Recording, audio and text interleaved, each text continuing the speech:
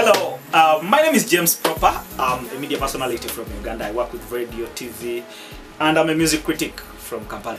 Basically, the reason I'm here today is to talk about this project. Me and my friends, uh, media personalities, musicians, producers, we are coming up with a project. The project is basically about HIV. We are going to sensitize the young people, people still in school, about the dangers of HIV. We have broken this project into three parts. The first part, we have an audio and video. Then we have uh, school tours where we shall be going to 30 schools in, in Uganda, not Kampala only, but in Uganda. Then, uh, thirdly, we shall have TV adverts because we can't go to every school in Uganda. So that's why we need to actually reach to more people.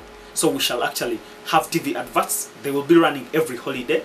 We have uh, a script on our proposal for the, the TV advert, so you can actually check it out and see if its content is worth it. Uh, then at the end of the day, we shall have to give each one, everyone who helped us, a report on how the project was was executed. Basically, the, the reason why we came up with this project, so many young people out there don't have information, enough information about HIV. So that's why we are coming up with this information. The song is actually talking to them about the dangers of HIV, the dangers of having sex with older men and women, the dangers of having sex with celebrities, the dangers of having sex with fellow young people. Because today you find that an artist goes to a school to perform, but these young girls, instead of giving him money when he's on stage, they actually come up with uh, with with papers where they have written their numbers. So this is actually increasing the, the risk of them getting HIV. Um, basically, the reason why we were inspired to do this project is because we saw it important. Because some of us never got this information early enough.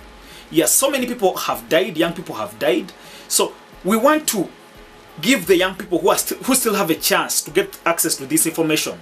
God gave us a chance that we, we have the names we have. So we, we want to use our names to talk to the young people about the dangers of HIV. Yeah, um, this is my super producer Hussein. He's actually working on this project. Uh, so Hussein, what do you think about this project? Why would you join such a project? No, actually, how are you all doing? Uh, this project is one of the biggest projects here in Uganda, and the truth is, we have so many kids. Yeah.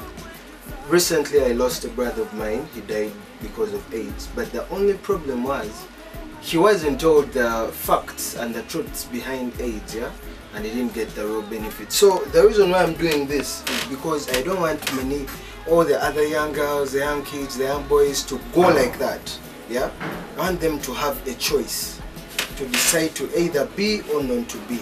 Yeah, so this is Reverb Studios and we are doing it. We have all all artists, big and small, in the shot and we are going to do it either way.